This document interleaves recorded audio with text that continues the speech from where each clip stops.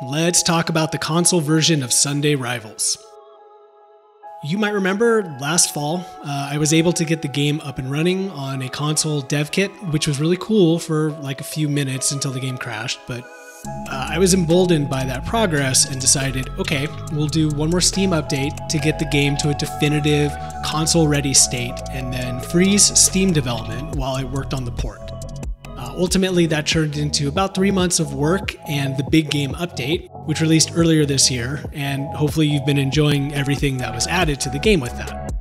Having spent like the last three and a half years on Sunday Rivals, I decided to take a break and prototype some ideas for a new game. And I was hopeful that the console port would go smoothly and could be finished before the end of 2023.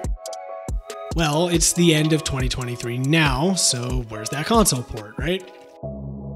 It's safe to say that things didn't go how I hoped, and uh, without getting too far into the weeds, the reality is that the amount of time and money it would take to get the console version of Sunday Rivals off the ground was much, much greater than I had anticipated.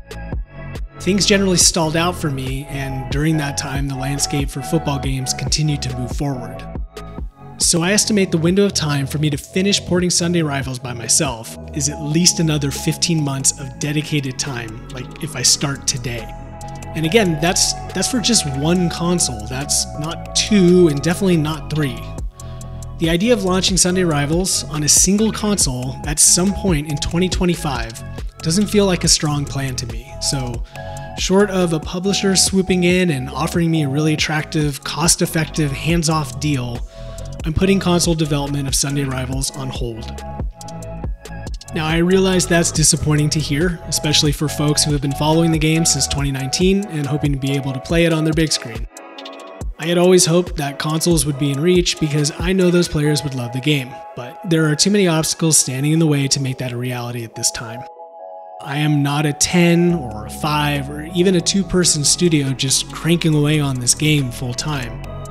This is still something I do in my spare time, in the hours before and after work, and these days that spare time is really limited.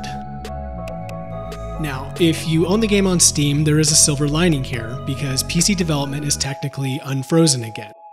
And while there isn't a ton of new things I can easily add to the game, there is some runway to strategically target certain areas in the future. Speaking of, 2024 should be interesting. Uh, if you haven't been paying attention over the last four years, it's fair to say that pretty much anything can happen between now and next December. But at the moment, I'm still prototyping ideas for a new game, and we'll continue working on that in the near future. This probably isn't the right video to talk too much more about it, but if you're interested in what's next, keep an eye out for future videos. So that's a wrap for this year. I hope everyone has a great holiday season. Happy New Year, and as always, thanks for playing.